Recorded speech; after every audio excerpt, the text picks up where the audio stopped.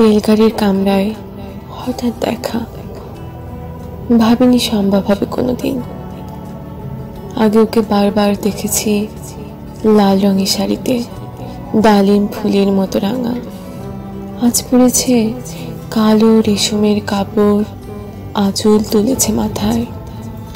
দোলন চাপার মতো চিকন গরু মুখখানি ঘিরে মনে হলো, কালো রঙে একটা গভীর দূরত্ব ঘনিয়ে নিয়েছে নিজের চারদিকে। যে দূরত্ব শস্যে ক্ষেতের শেষ সীমানায়, শালবনে, নীলাঞ্জনে, থমকে গেল আমার সমস্ত মনটা। চেনা লোককে দেখলেন অচেনার গাম্ভীর্যে। হঠাৎ খবরের কাগজ ফেলে দিয়ে আমাকে করলে নমস্কার। সমাজবিধির পথ গেল খুলে আলাপ করলেন শুরু। কেমন আছো? কেমন চলছে সংসার? ইত্যাদি। সে রইল জানালার বাইরের দিকে চেয়ে। যেন কাছের দিনের ছোঁয়াচ পার হওয়া চাহনিতে। দিল অত্যন্ত ছোট দু একটা জবাব। কোনোটা বা দিলেই না। বুঝিয়ে দিলে হাতের অস্থিরতায়। কেন সব কথা? এর চেয়ে অনেক ভালো চুপ করে থাকা। আমি ছিলাম অন্য বেঞ্চিতে ও সাথীদের সঙ্গে।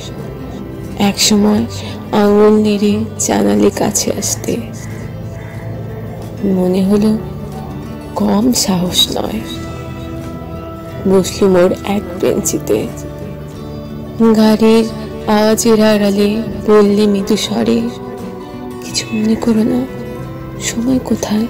সময় নষ্ট করবার। আমাকে নামতে হবে পরের স্টেশনে। দূরে যাবে তুমি, দেখা হবে না আর কোনো দিনে যে প্রশ্নটার জবাব এতকাল থেমে আছে, শুনব তোমার মুখে।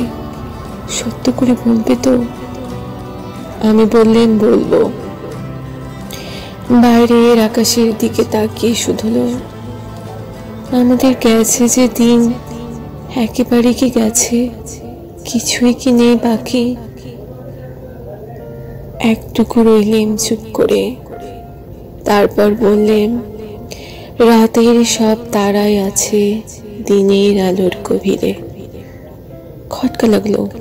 কি জানি, বানিয়ে বললেন নাকি? ও বললে থাক। এখন যাও দিকে সবাই নেমে গেল পরের স্টেশনে। আমি চললেন একা।